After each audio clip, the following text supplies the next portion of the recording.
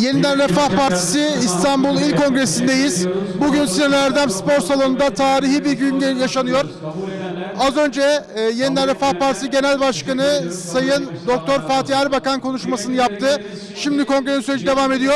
Esenyurt İlçe Başkanı Sayın Selçuk Güneş'in yanındayız.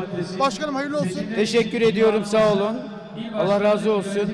Esenyurt bayağı kalabalık gelmiş bugün maşallah salonda. Çok şükür Esenyurt e, 2000 kişiye yakın bir katılımla yaklaşık e, 25 otobüsün gibi bir sayıyla biz burada e, arkadaşlar ilçe yönetimimiz ve icramızla burada bulunduk Allah'ın izniyle ve e, salonumuz da zaten e, diğer ilçelerin katılımıyla bir 20-25 bin kişilik bir katılımla e, il, il divanımızı icra ettik çok şükür. Ama salona Esenyurt damgasını vurdu galiba sloganlarla, alkışlarla.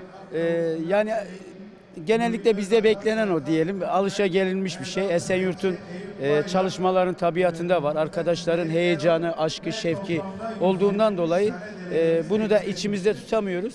Dolayısıyla slogana vesaire söylemede e, vuruyoruz. Nasıl gördünüz kongreyi? Ee, tabii ki yeni kur- kurulan bir parti. Ee, nihayetinde 3-4 ay içerisinde İstanbul'da bu teşkilatlanma vesaire çok hızlı e, sürünce kongre yeni kurulan bir parti açısından çok güzel oldu. Çok e, verimli oldu ve beklediğimiz e, gibi düşündük. Yani biz bunu beklediyorduk. Halkın bize teveccühü vardı. Çok şükür o, o teveccüh de yerine gelmiş. Burada salonda da tezahürünü gördük Allah'ın izniyle. Yeniden hayırlı olsun başkanım. Sağ olun, teşekkür ediyorum. Allah razı olsun.